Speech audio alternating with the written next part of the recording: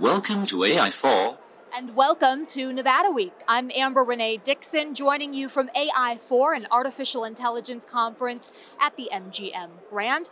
AI is making headlines these days for its capabilities as well as its shortcomings, which we'll discuss. But first, let's start with what is AI? And for that, we bring in Michael Weiss, co founder of AI4. Hey, Michael, Amber. welcome. Thanks. Good to be here. Hey, everyone. For those who are unfamiliar with AI, how would you explain it? AI is getting a computer to do tasks that previously only a human could do. That's AI. But computers could do some human tasks, right? They could, and I guess AI is sort of an aspirational idea that we can one day get computers to do all that humans can do and eventually even more. Now that sounds scary for some people, right? It is scary for some people, and there is a very real, you know, potential that if we don't build AI thoughtfully, it could be harmful to humans. And that is something we will be discussing ahead, but let's talk about the most common uses of AI right now. What are they? Yeah, I mean, you see AI being used a lot in customer service to automate, you know, chatting on websites or phone calls. Um, you're starting to see, you know, more and more AI being used in cars, like Tesla cars actually have a lot of AI that helps them drive. Um, you're seeing AI be used in healthcare to develop new medicines and discover new drugs. You're seeing AI also in healthcare to read medical images like X-rays or MRIs. So it's really, you know, this conference we cover I think 35 different industries, and there's literally thousands of examples now of where AI is actually being used in the real world. And tell me about some of the ways that excite you that are being developed right now. I am excited by AI in education. Uh, one example is, you know, if you have a classroom of say 30 students, uh, and you want to teach them a, a topic, it could be algebra. Each student isn't at the same level in terms of their learning of, you know, algebra, and so AI can actually create personalized problems to each student and provide each of the 30 kids with the perfect problem to pull them along their learning journey, which is a really powerful idea. That's very exciting. I also want you to talk about what chatbots are. I think people hear chat GPT a lot these days and may not know what exactly it is. What is it? So ChatGPT is it's called a large language model, which is probably confusing, but it's just a chatbot and it's a text-based interface where you can just type and literally have a conversation with an AI. So instead of, you know, chatting with your friend or family member, you're just saying hello and the response, "Hello, how are you?" comes from an AI. How do you use it personally? I use ChatGPT a lot. Um, it varies. So let's say I want to learn a historical topic. Instead of going to a Wikipedia page now, I'll actually go to ChatGPT uh, because it can kind of give me like a more engaging learning experience. Because I'll ask a question like, you know, what happened in 1900 Spain, and it'll start saying stuff, and then I can kind of customize exactly what I want to learn based on the AI's response. I also found it interesting that you talked about humans, AI eventually replacing humans. So you got to get the question, I imagine, a lot Will AI take my job? What is your response? Depends on your job. What industries are most affected or stand to be most affected? there, there's going to be certain you know knowledge worker digital tasks that are going to be taken over by AI. Um, one example, actually, in a roundtable discussion I was in about two hours ago, this company is working on developing yeah customer service voice bots, so that when you call you know this company, you're talking to what you think is a human, but it's actually an AI voice. And right now, there's you know a lot of contact center jobs with people on phones talking to customers, whereas now instead of contact center jobs being held by humans, they'll be held by AIs.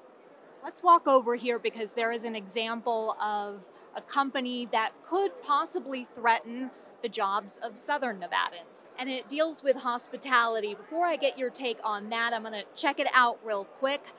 Let's head on over here and will you tell me what this product is all about? Absolutely. This is Furhat, the world's most advanced social robot, or robots that are designed to speak and interact with humans. And am I too far off to think that this could be in hotels here in Las Vegas someday? Absolutely. Uh, these robots are designed to interact with humans just as a hotel receptionist would, uh, and answering questions, improving the check in experience, uh, and being a friendly face to any sort of questions you may have coming into a hotel. Well, let me try to ask it some questions, and I know that I can get a little bit, uh, I can complain, correct? Absolutely, you can totally complain. Uh, this robot's designed to interact exactly as um, any sort of uh, regular hotel agent would uh, and resolve any requests you may have. Let's see how it responds to me. All right. I just got into my hotel room, and the sheets are absolutely filthy. What are you going to do about it? I'm sorry, I didn't quite catch that. Could you please repeat what you need assistance with? The sheets in my room are dirty. I'm so sorry to hear that. I'll make sure to send housekeeping to your room right away to change the sheets for you. Can And- you please provide me with your room number so I can inform them? My room is 509.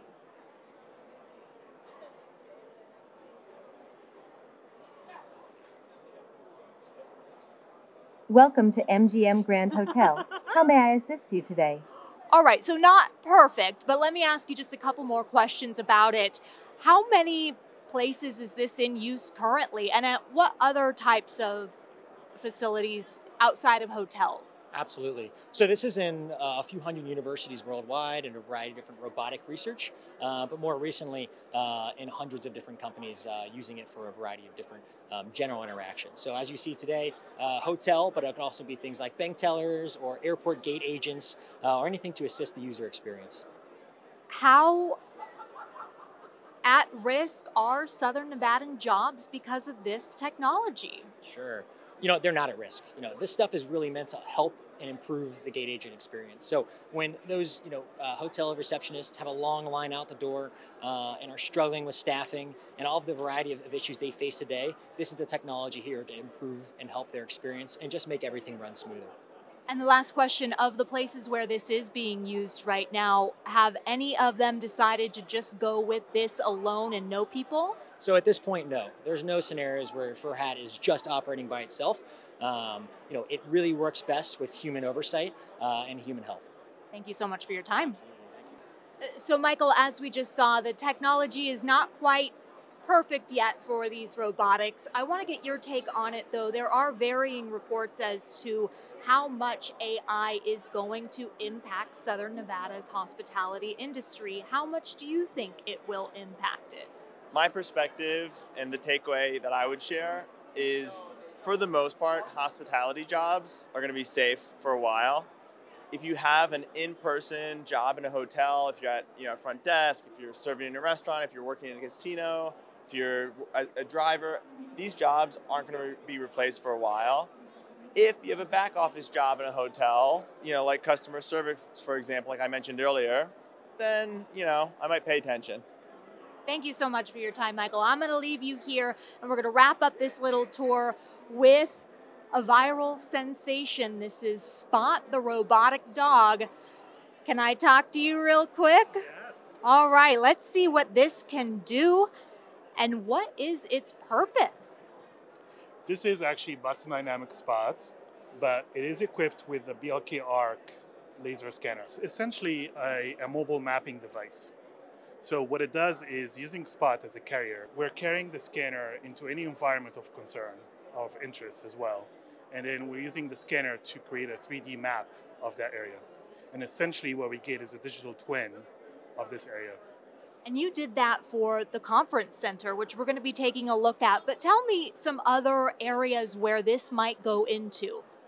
So one of the popular use cases is something like building construction.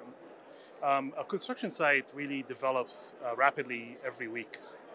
So if you were to look at the amount of work that it takes to document the progress, it's really labor intensive and how to keep the status update of that site with respect to the design.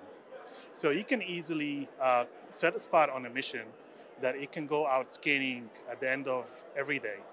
And it will capture this information and then when the engineers come back on site the next day, the data is ready for review. This could also be used in a safety an area of concern for safety, such as? Um, if you think about a scenario where there is a, a fire damage in a building, so doing an assessment inside uh, a catastrophic area uh, before sending people in to do their tasks, uh, this assessment is very important to know how to, you're gonna walk inside there, um, how you're gonna keep people safe in those areas as well. Hey, last question. How much does Spot cost? Spot Boston Dynamics uh, has a, a, wide variety of accessories, so that can really vary in the prices. But I think you're looking around anywhere from $80,000 to $100,000. Ooh, wee! That is the price of maybe a condo, a real expensive car.